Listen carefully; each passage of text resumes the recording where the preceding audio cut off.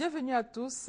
Inscrivez-vous massivement au programme de logements sociaux. Il a été conçu pour vous. Ne ratez pas cette occasion appel du Premier ministre Daniel Kablan-Duncan hier lors du lancement officiel de la deuxième phase de l'opération de présouscription aux logements sociaux et économiques. Il a indiqué que la problématique de logement doit mobiliser les énergies et le gouvernement est décidé à tout mettre en œuvre pour que ce programme soit une réussite. Et justement, pour la réussite de ce programme présidentiel, le Premier ministre a plaidé pour les acquéreurs auprès des banquiers. Les banquiers qui réfléchissent depuis hier sur l'histoire des 25 dernières années de banque en Afrique, force, faiblesses et perspectives, ils vont plancher entre autres sur le financement des infrastructures en Afrique.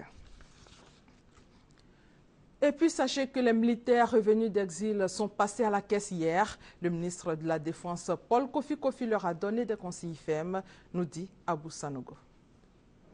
Après les phases d'identification, de croisement des fichiers et de vérification de données avec l'état-major général des forces républicaines de Côte d'Ivoire, le commandement supérieur de la gendarmerie et la direction générale de la police nationale, 33 ex-forces de défense et de sécurité rentrés d'exil ont perçu leur solde de ce mois de janvier.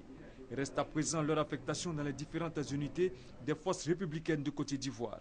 Pour le ministre chargé de la Défense, Paul Kofi Kofi, des dispositions pratiques ont été prises pour que tous les militaires rentrés d'exil perçoivent leur solde. Ils vont repartir en caserne, comme il se doit, pour les militaires. Pour les autres, ils ont des inquiétudes, mais on voulait les rassurer. On les traitera à part, mais en leur donnant une issue. Ce sont des militaires.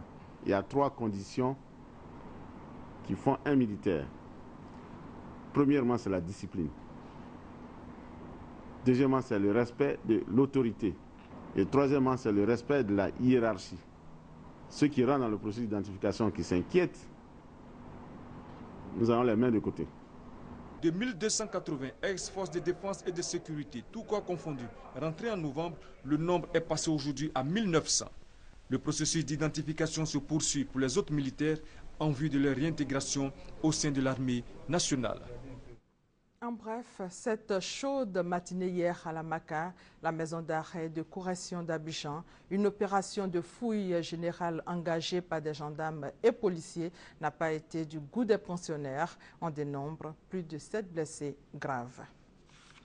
Hors de nos frontières, le président français François Hollande sera le seul chef d'État européen aujourd'hui à Tunis pour célébrer en compagnie essentiellement d'homologues africains la nouvelle constitution tunisienne, mais aussi achever la réconciliation avec le pays pionnier du printemps arabe. Et en Égypte, deux déflagrations ont retenti à deux minutes d'intervalle ce vendredi. Leur origine reste encore inconnu. Un nouveau drame de l'immigration. Neuf clandestins sont morts noyés au Maroc alors qu'ils tentaient de rejoindre l'enclave espagnole de Quetta. Dans le sud de l'Italie, des opérations de secours sont en cours pour sauver 1000 réfugiés repartis sur six embarcations de fortune au large de l'île de Lampedusa. Deux épisodes qui confirment l'augmentation continue de la pression migratoire aux portes de l'Europe. C'est un moment que Vladimir Poutine attendait depuis des années. La cérémonie d'ouverture des Jeux olympiques d'hiver de Sochi aura lieu ce vendredi dans la station balnéaire russe sur la mer Noire. Le président russe sera entouré de 44 chefs d'État et de gouvernements étrangers. Et c'est la fin de ce flash. Merci de votre